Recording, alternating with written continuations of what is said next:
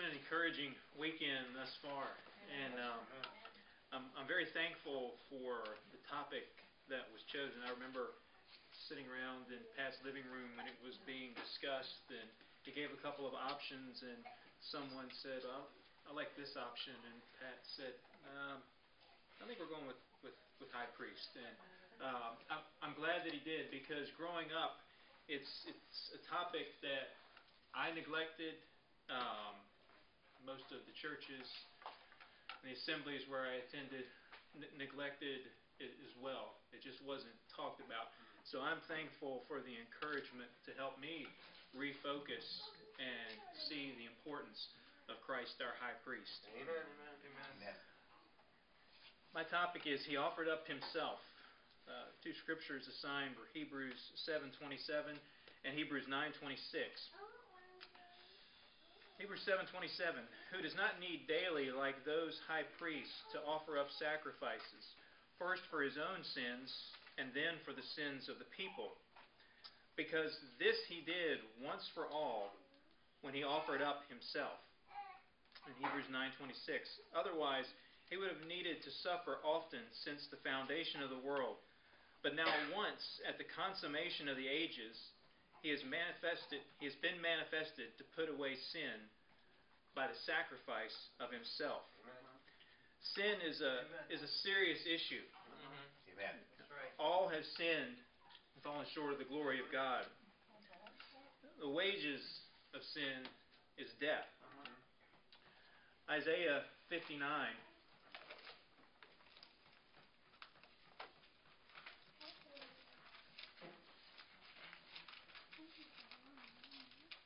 Isaiah 59, 1 and 2. Behold, the Lord's hand is not so short that it cannot save, nor is his ear so dull that it cannot hear. But your iniquities have made a separation between you and your God, and your sins have hidden his face from you, so that he does not hear. It's, it's not just a, a simple communication problem in his hearing. We, we are separate. Our sins have separated us uh-huh. from him. Amen. Ephesians Ephesians chapter 2 mm-hmm. even paints a, a more stark picture. Mm-hmm. Ephesians chapter 2 verses 1 through 3. And you were dead in your trespasses and sins, in which you formerly walked according to the course of this world, uh-huh. according to the prince of the power of the air, of the spirit that is now working in the sons of disobedience among them, we too all formerly lived in the lusts of our flesh, indulging the desires of the flesh and of the mind, and were by nature children of wrath, even as the rest. Children of wrath. And then further in Ephesians chapter 2, verse 12, remember that you were formerly at that time separate from Christ, excluded from the commonwealth of Israel, and strangers to the, com- the covenants of promise having no hope and without God in the world. That's that's where we were. Amen. That's where Amen. every man is Mhm. at one point. Amen. The sacrifices offered by the Old Testament priests couldn't alleviate this problem. We're gonna we're gonna be three for three today in going to Hebrews chapter ten. Hebrews chapter ten. Verse 1. For the law, since it, it has only a shadow of the good things to come, and not the very form of things, can never, by the same sacrifices which they offer continually year by year, make perfect those who draw near. Otherwise, they would not have ceased to be offered, because the worshippers, having once been cleansed, would no longer have consciousness of sins. But in those sacrifices, there is a reminder of sins year by year. For it is impossible for the blood of bulls and goats to take away sins. These sacrifices that the priests offered were never intended to take away our sin. They were intended to lead us and help us comprehend the substance which cast that shadow Jesus. Amen. They couldn't cleanse the conscience. But consider Jesus. The apostle and high priest of our confession. He offered up himself. He didn't offer bulls or goats. He offered up himself, Amen. Mm-hmm. the sacrifice of himself. He is the perfect sacrifice. He is the sacrifice that can make perfect those who draw near. He is a sacrifice that can cleanse the conscience. He is a sacrifice that could take away sins. Revelation chapter 13, verse 8. And all that dwell upon the earth shall worship him, whose names are not written in the book of life of the Lamb, slain from the foundation of the world. God's eternal purpose involved an offering that would indeed put away sin. Amen. Yes. John 1:29 The next day he saw Jesus coming to him and said, "Behold the Lamb of God who takes away the sin of the world." Amen. Amen. 1 John 3 5. You know that he appeared in order to take away sins, Amen. Amen. and in him there is no sin. Amen. Amen. and again it's been mentioned uh, this morning. Daniel chapter 7, verse 24. Seventy weeks have been decreed for your people and your holy city to finish the transgression, to make an end of sin, to make atonement for iniquity, to bring in everlasting righteousness, to seal up a vision and prophecy, and to anoint the most holy place. Other Old Testament writings speak of the fulfillment the forgiveness fulfilled in Christ. Isaiah chapter 1, verse 18.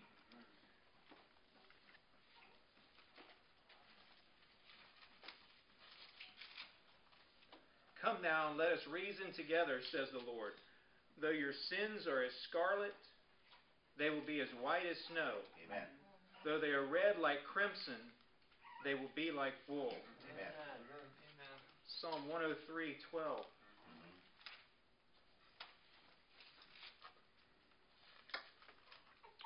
As far as the east is from the west, so far as he removed our transgressions from us. Amen. In Isaiah 43, 25.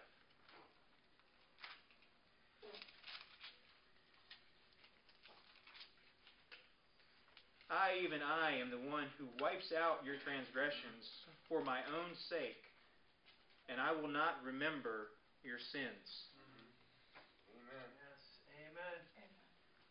And for what purpose? 1 Peter 3:18 For Christ also died for our sins once for all, the just for the unjust, so that he might bring us to God, having put to death in the flesh, having been put to death in the flesh, but made alive in the spirit. He completely dealt with the issue of sin so that he might bring us to God. Amen. Amen. Amen. Amen. How could the sacrifice of Jesus accomplish what the blood of bulls and goats could not?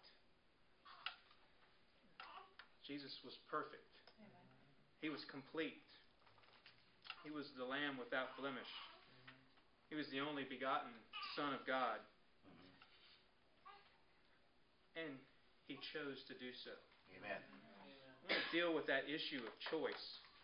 See, the, the will of the bull or the goat or the turtle dove or whatever the sacrifice was not involved. Mm-hmm. It was, was never even considered. There was no choice regarding what was done to them. There's no choice for themselves in a moral sense. No bull or goat could choose good or refuse evil.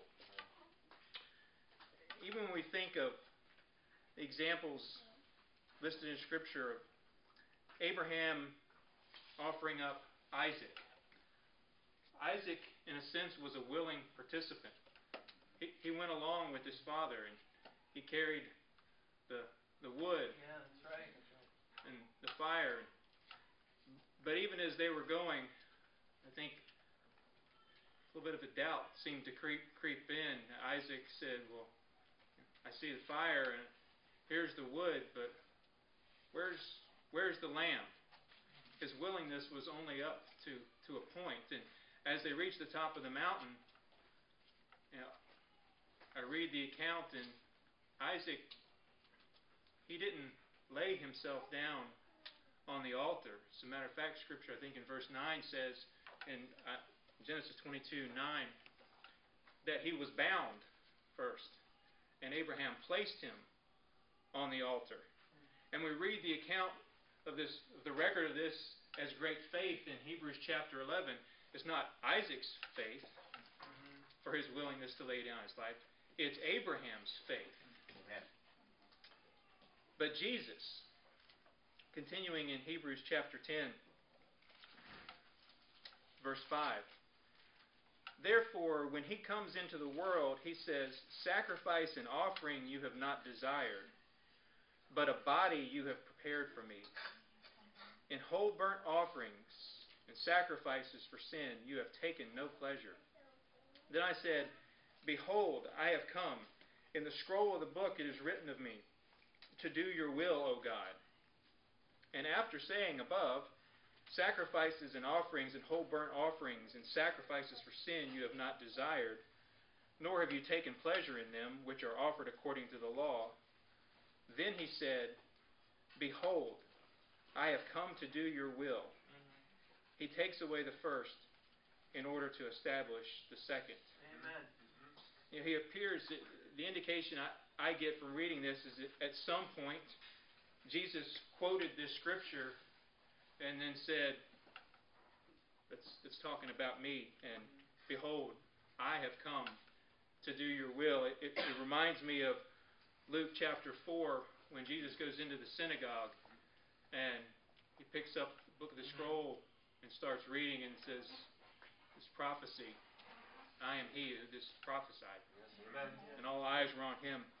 And God's eyes were on Jesus, and Jesus was willing Amen. to be the sacrifice, to offer himself. He made the choice to come do God's will. Ephesians chapter 3.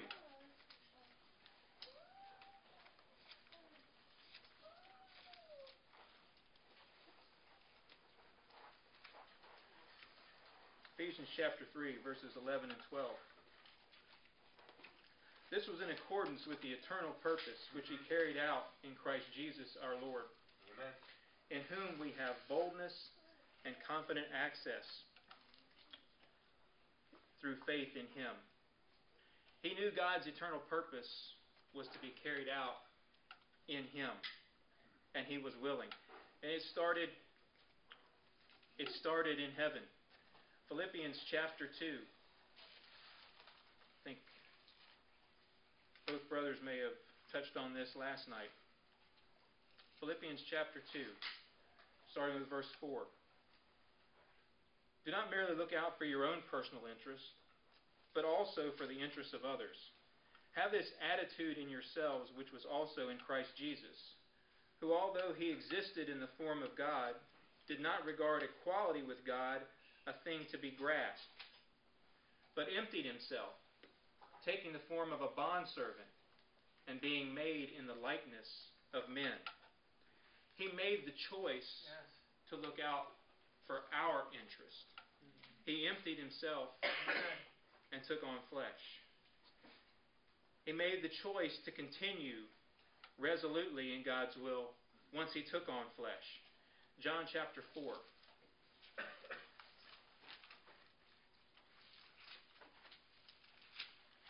John chapter 4, verses 31 through 34.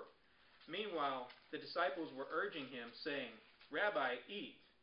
But he said to them, I have food to eat that you do not know about.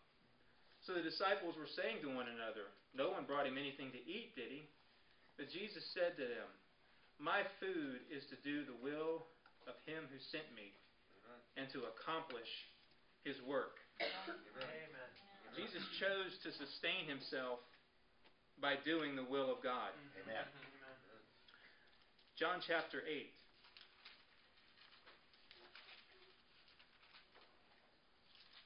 Verse 29. And he who sent me is with me. He has not left me alone, for I always do the things that are pleasing to him. Amen. Jesus chose by his own will, to always do the things that were pleasing to God. And then in John chapter 10, verse 17 and 18. For this reason the Father loves me, because I lay down my life so that I may take it up again. No one has taken it away from me, but I lay it down on my own initiative. I have authority to lay it down, and I have authority to take it up again. This commandment I received from my Father. It was the Father's command, but it involved Jesus' will and his initiative Amen. to carry it out. And he chose to do that. He chose to resist the temptation of the devil after 40 days of fasting. He chose to continue to resist. So at the end of his days, when it was finished, it could be noted of him that he was without sin. Amen. He chose to pray continually and intently, and offering up prayers, crying, loud groans. He was known for his piety. He chose to forgive while in the midst of his suffering. He chose to comfort others in the midst of his suffering. He chose good and refused evil. Amen. He chose to humble himself even to the point of death. He chose to love us and gave himself up for us, a pleasing aroma to mm-hmm. God. Mm-hmm. He offered up himself. Mm-hmm. He ascended into the true holy place, into heaven itself, with his blood, and intercedes for us now. Because of this, because he offered up himself, it's reasonable of him to ask us, urge us, to offer our bodies as living and holy sacrifices acceptable to God. He's only asking us to do something he was willing and demonstrated. Amen. But more than that, as high priest, he reigns, or he's interceding there on our behalf to give us the grace in order to carry it out. Mm-hmm. Amen. It was reasonable for him to ask us to lay aside every sin and encumbrance and run the race set before us because he resisted every temptation and laid aside encumbrances and he ran his race. It's reasonable for him to ask us to offer spiritual sacrifices, to press toward the goal for the prize of the upward call in Christ Jesus, because he set his gaze resolutely toward Jerusalem mm-hmm. and he finished his work. And he equips us to do the same. Mm-hmm. He's there interceding for us. It's reasonable for him to ask us with all prayer and petition, pray at all times in the Spirit, because he offered up prayers. It's reasonable for him to ask us to be holy, as he is holy, Yes. Because he was holy. It's reasonable for him to ask us to deny ourselves, to take up our cross, and follow him, because he did it first. It's reasonable that he would ask us to lay down our lives for the brethren, because he laid down his life for us. He offered himself up. Mm-hmm. Amen. As high priest, he is able to supply us the grace to walk in a manner worthy of him and please him in all respects. Amen. Consider Jesus our high priest. He offered up himself.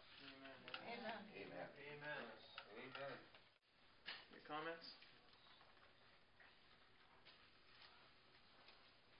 like the, uh, the way Brother Mike there presented the truth of this matter of him laying down his, his life and him offering up himself was a, was according to the will of God. It had, it, it, he, he was doing things that pertain to God.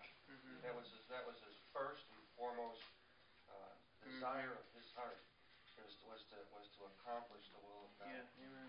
In, in that text that we quotes from, from the Psalms about, I come to do thy will, O God, and the psalmist, he says, I delight to do thy will, mm-hmm. O God. This was a, a, a revelation of the, of the very, very heart of Jesus, that this was, if you will, the, the, the compelling part of, of Jesus to accomplish this. He delights, he delights to do his will. Mhm. He loves, Amen. he loves the Father. Yeah. Amen. That's what the scripture says, he loveth the Father. And, and he, and he desires to do all things that are pleasing unto him. Mhm. Amen. See, so he's, he's doing these things that- because they're pertaining to God. Mhm. That's, that's first and foremost. We, we partake of the benefit because they pertain to God. Amen. Amen. Yeah, he, he, he came down, he came to earth. He came to this world, but not to do not to do worldly things, not to not to engage himself in earthly matters or in matters of men. You know, he came here, but He didn't even come to do his own will. yeah, Mm-hmm. the Father's will. He, he prayed, not my will, but thine be done. Amen. There's the willingness with which he offered himself. And, uh, see, the, the sheep and the lambs and the bulls, they didn't have a choice. They didn't have willingness in this. Mhm. They were taken and offered. But not so our Lord Jesus Christ. That's right. He offered himself. Very good. I appreciate the way that you've said that um, the sacrifices under the law, they were for us to help us comprehend the Right. substance that's behind the shadow, That's right. Mhm. Yes. uh, or maybe in front of the shadow. We can see the shadow and look forward and see the substance. Mm-hmm. Very helpful to us. Amen.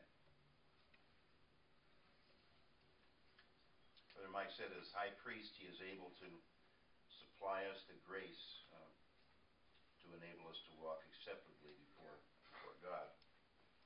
That's a good, uh, you know, the, uh, I had, for, if, if you don't see Jesus as being the high priest, you, uh, well, I guess starting out in the kingdom of God, you know, you you know that uh, forgiveness is administered, and and you know that uh, benefits are brought to you, but but see, he's the one. He's the one that's actually administering them. It's personally administered by Amen. Jesus. You know, when you have uh, this matter of the of the forgiveness of sins experientially, I don't mean uh, I don't mean the foundational aspect. I'm talking about on a day by day basis the experiential forgiveness of sin. When you confess your sins unto God, and well, this is personally administered. This cleansing, the cleansing from sin, is personally administered by by the high priest, Mm. by Jesus, our our great high priest. Amen.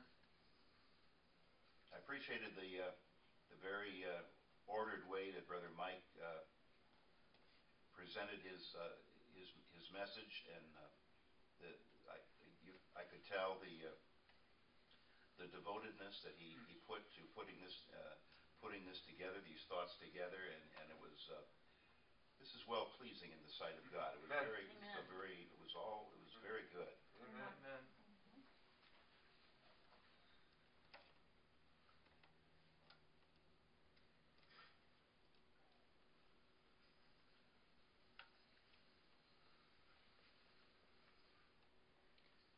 I really like the uh, that you pointed out that Jesus sustained himself by doing the will of God. Mm-hmm. This was like Yes. he amen. sought out to do this to sustain himself. That's our desire as well.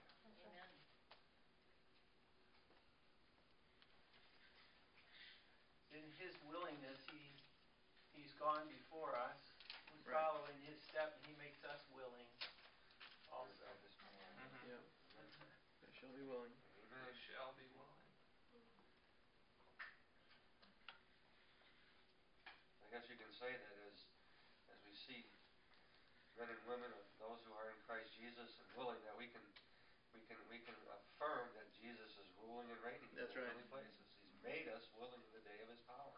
See, that's- There's an Amen. effectual working of, of the high priest here being demonstrated in the earth and Mm-hmm. in, in, in men and women. Yep.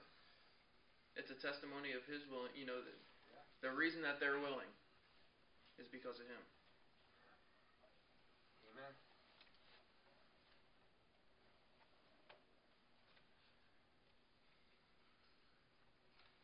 God who works in both in you both to will and to do for Yep. his good. Yep. Amen. Amen. It's a. I think it's you know it's appropriate for us to. We want to recognize that. We want you know I I want to do a better job of declaring that too. You know, you, I can see. You, you can confirm the disciples this way. You kind of, you can see that God is is, is in you of a truth. You know, this is. I can see that God's working in you, making you willing and, and doing His of His good pleasure. That's So that's a good word to say to the brethren, examine right. yourself to see if you be in the faith. that's right. I know some will, will, will have, have rejected that, how dare you say that to me, but, you know, that's, I, I, I, I love to hear that exhortation, examine yourself to Yeah, see if you be in the amen. faith. Mm-hmm. What is God that is working you both the will and do of his good pleasure? You wanna know that God is working. Mhm. you. Yeah, That's amen. right. Amen.